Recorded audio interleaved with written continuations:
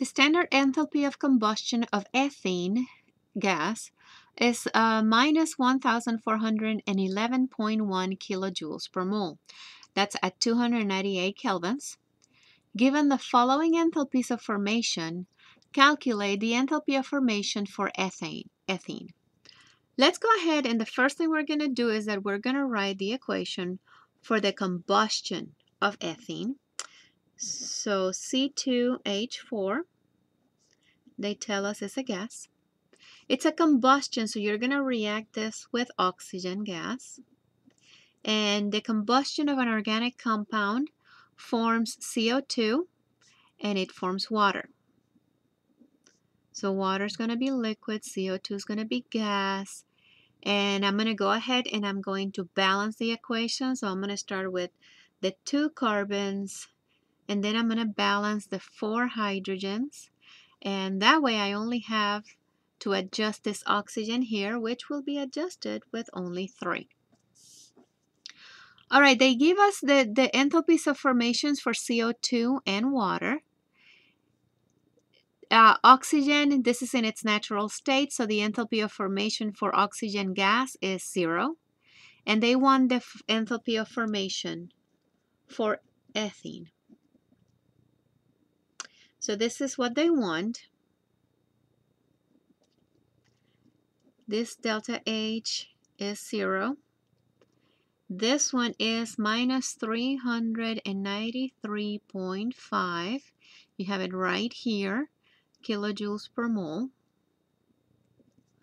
Water is minus 285.8 kilo, kilojoules per mole. And what we need is this right here. That's perfectly fine. So here's what we're going to do. This reaction all by itself. It has an enthalpy associated with it of 1411.1. And we know that that delta H is going to equal the delta H of the products minus the delta H of the reagents, the reactants. Okay, well, let's see how much are the reagents and how much are the reactants.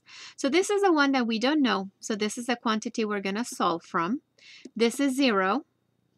This is 393.5 per mole, but we have 2 moles. So we're going to have to multiply that by 2. And the same thing with water. The number they give us is for 1 mole. But we're forming 2 moles for this reaction. And that's a reaction we're going to have to use. All right, so the products, the delta H of the products, we're going to add these two numbers right here. So that one, I did the calculation before, negative uh, 1,358.6 kilojoules per mole. That is the delta H of the products. The delta H of the reagents that would be the delta H of formation of the ethene that, that we need plus zero because the oxygen has a zero. So we don't even need that part.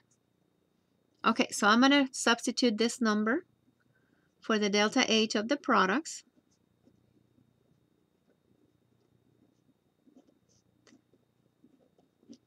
Per mole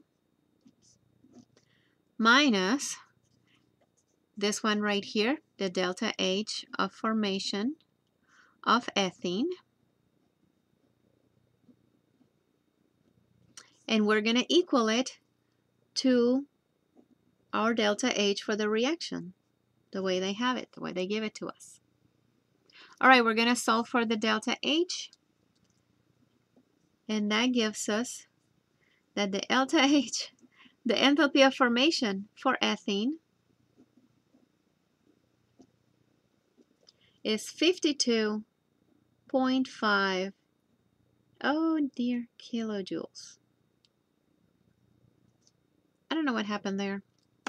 Give me a minute. Excuse me. This is the last problem. I'm not going to do another take. 52.5 kilojoules. And that's how you solve this type of problem.